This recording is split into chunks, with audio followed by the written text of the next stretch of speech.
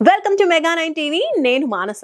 మనం గెలిచినప్పుడు చప్పట్లు కొట్టేవాళ్ళు మనం ఓడిపోయినప్పుడు భుజం తట్టేవాళ్ళు నలుగురు లేనప్పుడు ఎంత సంపాదించినా ఎంత పోగొట్టుకున్నా తేడా ఏముండదు. అద్భుతం జరిగేటప్పుడు ఎవరూ గుర్తించరు. జరిగిన తర్వాత ఎవరూ గుర్తించాల్సిన అవసరం లేదు. ఎక్కడ నెగ్గాలో కాదు ఎక్కడ తగ్గాలో తెలిసినోడు గొప్పోడు. ఈ డైలాగ్స్ అన్నీ కూడా ప్రతి ఒక్కరి నాలుక మీద నిత్యం నానుతూనే ఉంటాయి. అది మాటల మాంత్రికుడి మ్యాజిక్ అంటే తనదైన భాషా శైలితో అక్షరాలకు ప్రాణం పోసి చిన్న చిన్న పదాలతో అద్భుతమైన సంభాషణలు రాయగలిగే సత్తా కలిగిన Tollywood craziest director come writer Trivikram Srinivas పుట్టినరోజు ఈరోజు. యూనివర్సిటీ గోల్డ్ మెడలిస్ట్ అయిన గురూజీ మాటల మాంత్రికుడు ఎలా అయ్యాడు? తన ఇంక్రెడిబుల్ జర్నీ గురించి Mega nine TV special focus.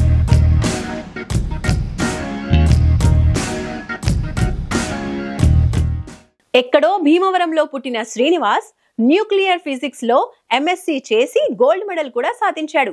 College రోజుల నుంచి సెకండ్ షోల సినిమాలకు వెళ్ళే అలవాటు ఉండేదట. కానీ సినిమాల్లోకి వెళ్ళాలని వెళ్తానని ఎప్పుడూ ఊహించలేదట. పంతొమ్మిది వందల తొంభై ఆరులో జాబ్ కోసం హైదరాబాద్ వచ్చాడట. హోమ్ ట్యూషన్స్ చెప్పేవాడు. సాహిత్యం మీద ఉన్న ఇష్టంతో సినిమా ప్రయత్నాలు మొదలు పెట్టాడు ఓ రోజు హాస్య నటుడు గౌతమ్ రాజును కలిశాడు. ఆయన ఇచ్చిన సలహాతో ఓ టీవీలో స్క్రిప్ట్ రైటర్గా వర్క్ స్టార్ట్ చేశాడు. ఆ తర్వాత మెరుపు అనే సినిమాకు అసిస్టెంట్ డైరెక్టర్గా పనిచేశాడు. శాలరీ లేకున్నా నాలుగు గంటల వరకు షూటింగ్లో ఉండి తర్వాత ఇంటికి వచ్చి మళ్ళీ ట్యూషన్స్ చెప్పుకోవడానికి వెళ్ళేవాట. హైదరాబాద్లో తనలాగే వెండితెర కళలతో ఉన్న ఎందరినో త్రివిక్రమ్ కలిశాడు. పాఠ్య పుస్తకాలే కాక ప్రపంచ పుస్తకాలు విరివిగా చదవడంతో శ్రీనివాస్ మాటల్లో ఏదో తెలియని డెప్త్ను ఆ రోజుల్లోనే మిత్రులు గమనించారు. ఒక్కరికి ఛాన్స్ వచ్చినా ఒక్కొక్కరుగా సెటిల్ కావాలని అప్పుడే డిసైడ్ అయ్యారు. వీరిలో చాలా త్వరగా బిగ్ స్టార్ అయింది మాత్రం త్రివిక్రమ్. రచయిత పోసాని పరిచయంతో మాటల రచయితగా మారాడు త్రివిక్రమ్. వేణు హీరోగా వచ్చిన స్వయంవరం సినిమాకు మాటలు అందించాడు. ఈ సినిమా హిట్తో కొంతమంది త్రివిక్రమ్ను అప్రోచ్ అయ్యారట. కానీ త్రివిక్రమ్ మాత్రం ఎవరికీ చెప్పకుండా భీమవరం వెళ్ళిపోయాడట. భీమవరం నుంచి వచ్చిన తర్వాత తాను మాటలు అందించిన నువ్వే కావాలి సినిమాతో త్రివిక్రమ్ ప్రభంజనం మొదలైంది.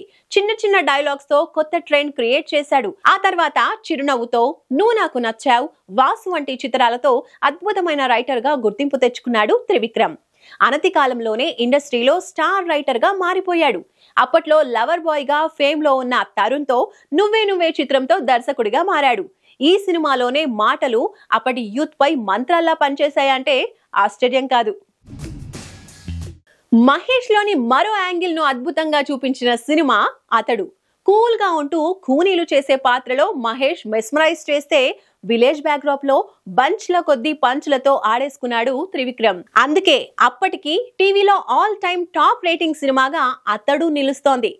అతడు తర్వాత చాలా మంది హీరోలు త్రివిక్రమ్ డైరెక్షన్లో సినిమా చేయాలి అనుకున్నారు. అతను మాత్రం ఒకే హీరోతో చేయాలనుకున్నాడు.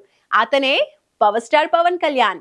అతి కష్టం మీద పవన్ అపాయింట్మెంట్ తీసుకుని కలిసి చెప్పిన కథ జల్సా. ఆ తర్వాత వీరి ప్రయాణం ఆత్మీయులుగా కొనసాగుతూనే ఉంది.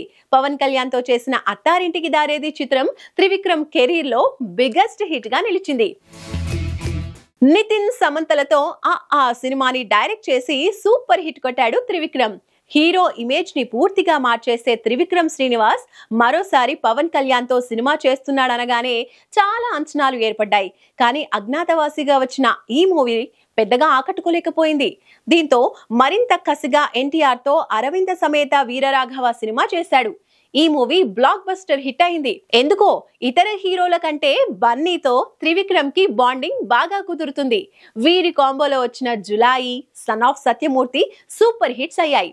వీరిద్దరి కాంబినేషన్లో వచ్చిన అలవైకుంఠపురం మూవీ ఇండస్ట్రీలో రికార్డ్స్ క్రియేట్ చేసింది. రీసెంట్గా గుంటూరు కారం సినిమా చేశాడు. ఈ సినిమా త్రివిక్రమ్ మీద నెగిటివిటీ పెంచిన నెక్స్ట్ ప్రాజెక్ట్ కోసం మాత్రం అందరూ ఈగర్గా వెయిట్ చేసేలా క్రియేట్ చేసింది. అయితే గత కొంతకాలంగా త్రివిక్రమ్ స్లో అయిపోయాడు. రాజమౌళి సుకుమార్ లాంటి దర్శకుడు పాన్ ఇండియా క్రేజ్ తెచ్చుకుంటే త్రివిక్రమ్ మాత్రం ఇంకా ఇక్కడే ఉండిపోయాడు. ప్రస్తుతం అల్లు అర్జున్ మరో మూవీకి ఆయన సిద్ధపడుతున్నాడు. పాన్ ఇండియా లెవెల్లో రూపొందే ఈ మూవీ త్వరలోనే పట్టాలెక్కనుంది. ఈ మూవీతో మరిన్ని రికార్డ్స్ క్రియేట్ చేయాలని కోరుకుంటూ త్రివిక్రమ్ శ్రీనివాస్కు బర్త్డే విషెస్ చెప్తోంది మెగా నైన్ టీవీ.